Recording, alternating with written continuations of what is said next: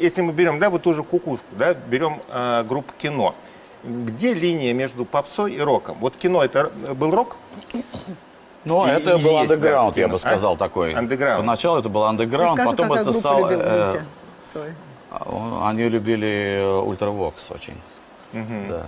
А вы любили Назарет и Queen, потому что бобина досталась, где на одной... Nazareth Queen, Пинк Флойд очень любила. И э, очень много других разных групп. А вы, Алексей, на частично чем? уже. Вы знаете, мы- я Росли за- заставлял себя, заставлял себя, э, особенно в 80-е годы, э, я заставлял себя в неделю прослушивать до 200 дисков. Заставлял. Заставлял, да, да, да, заставлял.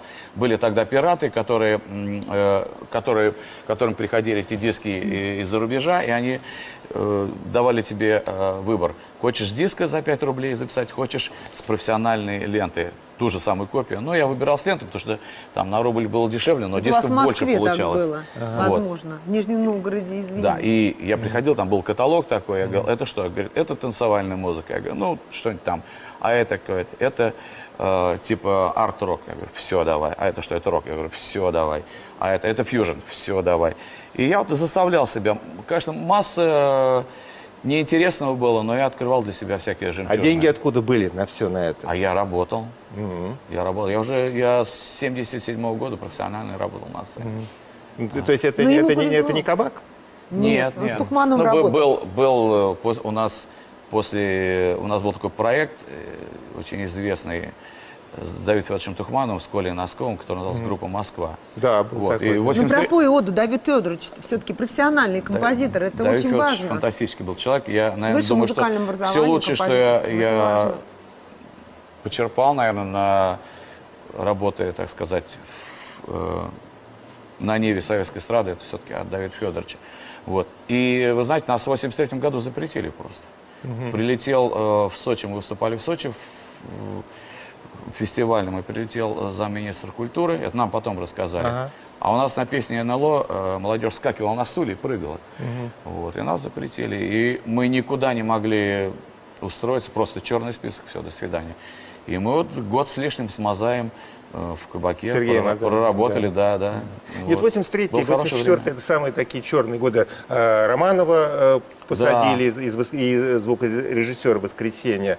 С ним вместе Жанну Агузарову тоже тогда э, Я, это было время величайшей глупости. Вот меня уже годы спустя, когда спрашивают, а вот нам пришлось э, довольно много времени провести за границей. Наш барабанщик до сих пор живет там. В Америке? Да, да, вот, Саша Львов.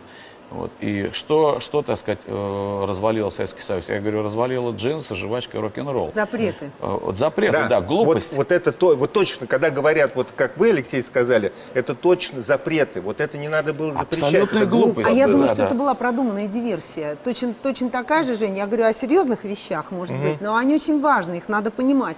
Точно такая же диверсия, которую произвели в отношении русской классики музыкальной. Ее совсем нет на радиостанциях, совсем. Да, но она была все Она играет советские во годы. мире. И что?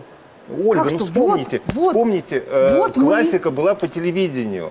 Э, в- сплошные, ну, «Лебединое озеро», это во- вообще Женечка, там миленький, хоронили всех вы- членов Политбюро под это. И что? Буду и народ спорить, не подсел. Буду спорить, буду спорить. К- Но мы сейчас о другом это- говорим. Нет, минуточку. Я скажу, народ Вот это жена-то наш... как, да? Нет, Туда, не нет, туда, все время. Нет, а потому что вы Пантера. все время вы уводите Нет, в сторону, ребята. я Я не- хочу не- вернуть не вас в сути. сторону. Мы- народ это наш мы род, о а глупости. толпа это не народ. Но вот заметьте, как не стало классики в эфире, не стало и музыкантов интересных у нас. А были Понимаете? они? А вот как раз вы В перечислили рок-музыке аромат. музыканты Да, пор- вот, э, музыка развивалась, Жень. Если мы не ну, скажи, Горького, Леша, а вот да. про Горького понятно, Да что много это было супер-пупер музыканты. У нас были муз- 80-е музыканты. именно как- годы было много интересных групп. А на самом деле они... Группы интересные, а были виртуозные музыканты. Это группы были, потому что... Ну, а какие были интересные группы с музыкальной точки зрения, если мы социальные вот ну, этот был вот автограф, месседж? очень интересная Автограф, группа, да, да. да. А, ранний круиз, и, кстати, круиз э, хэви-метального периода тоже были. Тот же Валера Гаин, виртуозный гитарист. В Браво были интересные музыканты в первых составах. А, Почему, Леш? Да, там были интересные. Там Тимур Братузаев был, например, интересный. вот у пример. Кима Брэдбурга была группа, как она называлась, А, Ди- Диалог. Диалог, да. Интере- Интересная очень группа была. Нет, и группу, э, потом была А группа... БГ гру- тоже группа- интересно начинал, между прочим. Как группа, музыкант? была- Да. Нет, он, он экспериментирует. Понимаете, чем де- жил, Женечка? Ведь дело в том, что когда у тебя есть определенные данные, во- вокальные даже, они провоцируют Не политкорректно, но без злого умысла. Иронично, но без сарказма. Пристрастно, но по-честному. «Правда-24» и Евгений Додолев. С понедельника по четверг в 19.30 на телеканале «Москва-24».